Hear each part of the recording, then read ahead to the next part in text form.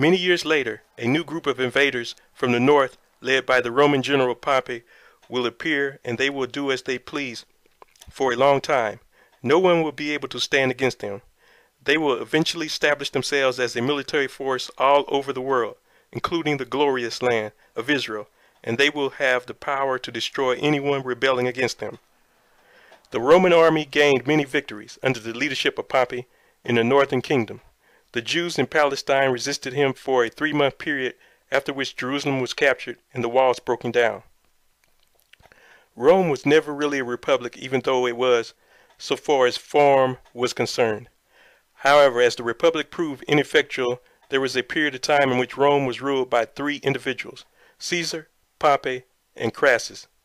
Caesar was the top leader, Crassus controlled the treasury, and Pompey was in charge of the accession of new territories. After having conquered Asia Minor, Syria, and Palestine, his next move was to visit Egypt.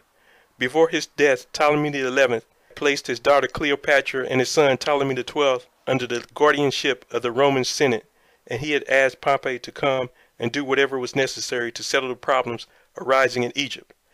A quarrel had developed between Cleopatra and her brother Ptolemy XII concerning the throne of Egypt. Pompey was killed on his way to Egypt. So Julius Caesar went directly to Alexandria, and because of her great beauty, he began to champion the cause of Cleopatra, making her the queen of Egypt. Julius Caesar was fascinated by Cleopatra and entered into immoral relations with her. Despite this relationship, the scripture predicted in verse 17 that she would not stand for Caesar but rather for her own interests. Verse 18 predicts the many conquests by Julius Caesar as he turned to the Isles. Historians give him credit for having fought and won 500 battles. He captured a thousand cities, and in his conquest he killed over a million men. The latter part of verse 18, together with verse 19, predicted a conspiracy to bring about Caesar's death. Historians tell how Brutus posed as a friend both of the Roman Republic and of Julius Caesar. So on March 14, 44 BC, Brutus arranged for M. Lepidus, whom Caesar had appointed as governor of Gaul, to have dinner with Julius Caesar. Their discussion had to do with the kind of death most desirable. Caesar indicated that he would prefer sudden death. During the night, his wife had a dream, and the next morning she begged her husband not to go to the Senate chamber. After some time, Brutus came and urged Julius Caesar to come because of many urgent matters demanding his attention. No sooner was he seated on his throne than the conspirators gathered around him, took their concealed daggers, and thrust them into his body so that he stumbled and fell forward, killed by 23 wounds. In verses 20 to 22, Gabriel made four predictions. Julius Caesar's successor would be a raiser of taxes. A vile person would become ruler. Tiberius would have military power, and Tiberius would have to do with the crucifixion of Jesus. Before his death, Julius Caesar appointed his nephew, Octavian, to be his successor. Julius had named July, a month of the year having 31 days, after himself. Likewise, when Octavian became ruler, he took the name Augustus Caesar and named the month following July after himself. He added to it another day which he took from February. He was truly a raiser of taxes. Read Luke chapter 2 verse 1. He used the tax funds to finance his great building enterprises all over the Roman Empire. During his reign the Messiah was born. It was this taxation which brought Joseph and Mary to Bethlehem, even though they resided in Nazareth, where the Savior was born, as had been predicted in Micah chapter 5 verse 2. After the death of Augustus Caesar, a vile person was to rule. A short time before Augustus died, his wife urged that her son, by former marriage, be appointed to succeed him. It was reported that Augustus thought Tiberius to be too vile a person to become the emperor.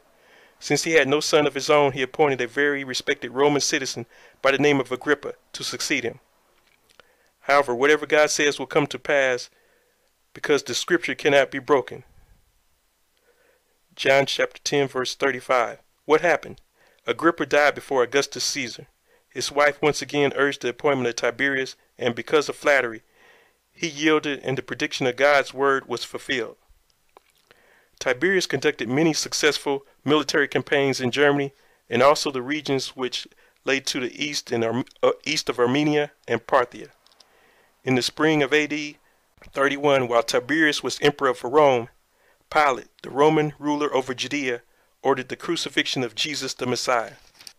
And after the league made with him, he shall work deceitfully, for he shall come up and shall become strong with a small people. He shall enter peaceably even upon the fattest places of the province, and he shall do that which his fathers have not done, nor his fathers' fathers. He shall scatter among them the prey, and the spoil, and riches, yea, and he shall forecast his devices against the strongholds, even for a time. And he shall stir up his power and his courage against the king of the south with a great army. And the king of the south shall be stirred up to battle with a very great and mighty army. But he shall not stand, for they shall forecast devices against him. Yea, they that feed of the portions of his meat shall destroy him, and his army shall overflow, and many shall fall down slain. And both these kings' hearts shall be to do mischief, and they shall speak lies at one table, but it shall not prosper, for yet the end shall be at the time appointed.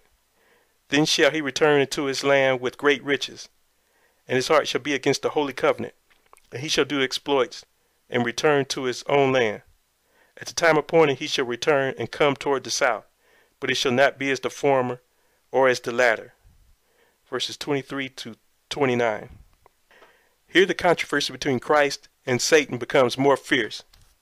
The Jews were the objects of oppression. The Roman yoke they despised. The rabbis had taught the people that the coming of the Messiah would put an end to Roman to Rome's iron rule. This doctrine, even though not taught in the scriptures, was readily received because they were tired of the taxation and oppression. Satan had been working behind the scenes to blind men's eyes to the kind of Messiah who had been promised. 2 Corinthians chapter 4 verse 4. The verses being considered in this part of chapter 11 depict the development of the mystery of iniquity which the apostle Paul saw at work in his day and which was destined to become full grown in opposition to the one true God.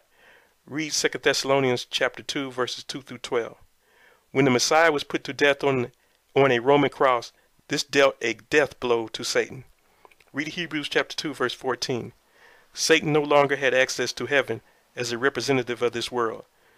Job chapter 1 verses 6 but he was now cast down and refused access to these councils.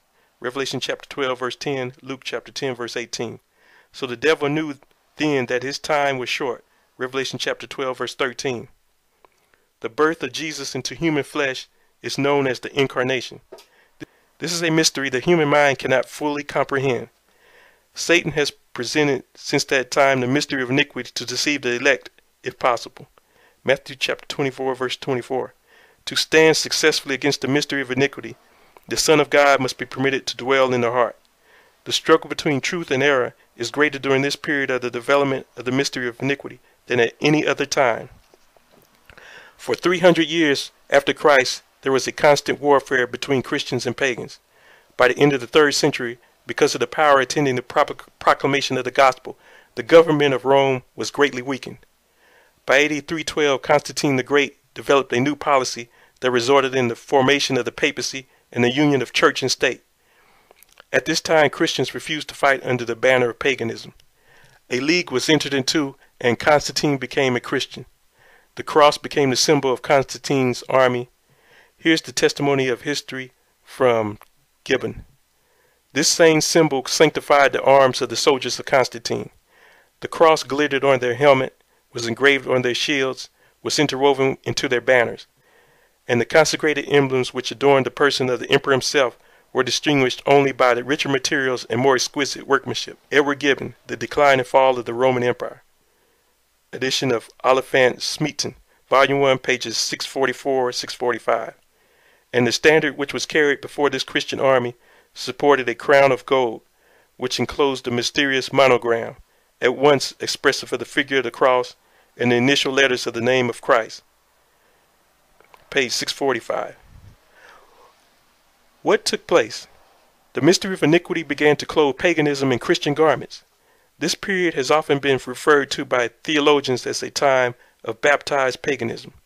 The Edict of Milan granted universal toleration. The first law regarding worship on Sunday was issued by Constantine in 321.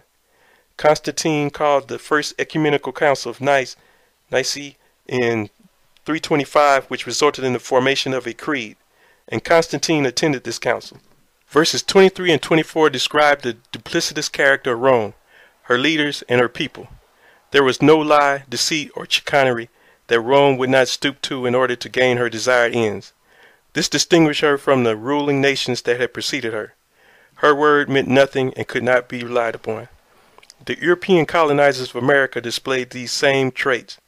These spiritual children of Rome lied through their teeth and made many treaties with the Native Americans, but they broke every last one of them. Professing themselves Bible believing Christians, there was no lie or falsehood, theft or murder they would not commit. Thus they stole the Native Americans' land from them. No wonder the United States of America is described as having two horns like a lamb and speaking like a dragon in Revelation chapter 13 verse 11. The Romans developed their empire by pledging help, but after making friends, they worked deceitfully. Read Daniel chapter 8 verses 24 and 25.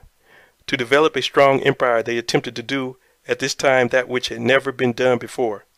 Rome purchased the loyalty of her soldiers, governors, and officers and senators. How? She gave them permission to overrun the provinces they ruled, and the Roman government helped them to secure new territory. Condition continued for a time. If this is considered prophetic time, it indicates that this would be one year or 360 prophetic days, which, when the rule of Bible prophetic time is applied, Ezekiel 4 6 would be 360 years. Augustus Caesar became the first Roman emperor with supreme power as a result of the Battle of Actium in 31 BC. There were exactly 360 years between 31 BC and AD 330, the year when Constantine moved the capital from Rome to Constantinople. When Constantine professed to be converted and became a member of the church, this brought about a union of church and state and the development of the papacy. When he died in AD 337, he left three things a new capital, a new policy, a new religion. The papacy was well on its way to supremacy. In Alexandria, quite a controversy developed between Athanasius, the bishop of Alexandria, and Arius, a, pres a presbyter in Alexandria. It all came about because Christian schools began to adopt Greek philosophy. Higher criticism developed as an attempt was made to interpret the Bible according to human intellect. The controversy in the Christian world necessitated the Council of Nicaea in 325.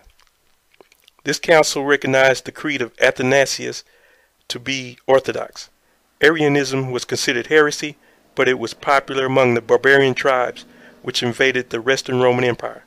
The followers of Arius included the Heruli and the Ostrogoths, which settled in Italy, and the Vandals, who settled in Africa. There was a great power struggle going on. If the papal power was ever to be supreme, it would be at the expense of uprooting the Heruli, Vandals, and Ostrogoths. In verse 25, Gabriel goes back to the beginning of Roman rule. In 32 BC, Augustus Caesar waged a successful war against Cleopatra and Mark Antony, which resulted in their final defeat at Actium in 31 BC. Verse 26 indicated the real source of Mark Antony's problem was eternal. His soldiers were not happy with his relationship with Cleopatra, so, in a sense, as they left him there, was little if any hope for his survival. Finally, verse 27, Octavian, later called himself Augustus, and Antony got together and formed a friendship as Antony married the sister of Octavian. But this did not last long because Antony soon left his wife in favor of Cleopatra. In the latter part of verse 27, a universal principle reiterated the end of all things is in God's hands. All that men may do to accomplish certain goals must be subservient to the control of an almighty God. When men and governments think they have arrived, God says, the end shall be at the time appointed. The last two verses of this section, 28 and 29, refer to Octavian, Augustus Caesar, who, after his victory in Egypt, went to Rome for a great three-day victory celebration. Historians reveal that Augustus Caesar and his army at this time took a tremendous amount of riches from Egypt. It is evident that at heart, Augustus Caesar and the government he headed were in opposition to the Holy Covenant or God's plan of salvation. After the Egyptian victory, the next great siege by the Romans was directed against the Holy Land. The country and the cities which had been the place of Christ's early ministry were completely ravaged. Finally, under Titus, Jerusalem, the holy city, and its inhabitants met with a complete overthrow in AD 70. So this second returning is from the next major conquest after Egypt. That military campaign of Rome going down to Judah and ultimately destroying Jerusalem and the temple in AD 70. Rome literally took away the daily sacrifice and cast down the place of the sanctuary. This is why his heart is against the Holy Covenant, in the sense that he's going to destroy the temple, Jerusalem, and the people that once had been God's people, or the people of the covenant. There is also here the prediction that pagan Rome, through her emperors, would do all in their power to oppose and to annihilate Christianity. There was a special attempt to do this during the awful persecutions against Christians for a 10 year period, AD 302 to 312. These persecutions began with Nero and ended with Diocletian. Finally, the seat of the Roman government was successfully transferred to Constantinople by Constantine the Great in AD 330. At the time appointed, the mystery of iniquity was making real headway in the overthrow of the Roman Empire. The time appointed, the end of the 360 years in AD 330, when the capital of the Roman Empire was moved from the city of Rome to Constantinople by Constantine, was the end of the supremacy of Rome. The 360 years of prophetic time had come to its close, and from that point on, the ability of Rome to control the world at will through its military might and its political prowess ceased.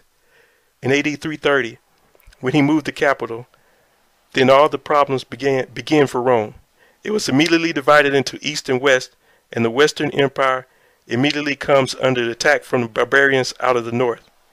The islands of the Mediterranean that Rome had formerly controlled now became launching points for some of the powers designed by God to bring Rome down and contribute to the event, to the environment needed for Rome to break up into the ten horns and the three horns to be removed as in Daniel 7. Former or latter means when Rome attempts to defend itself and maintain its authority from Constantinople, the new capital of the kingdom, he won't have the ability to be as successful in his military campaigns from that point on. It won't be as the former, like when he went into Egypt and dealt with Mark Antony and had such great success, nor will it be as the latter, when he went into Judea and destroyed the temple in AD 70 and wiped out Israel. He had success then, but from 8330 onward, his military success wasn't going to be the same.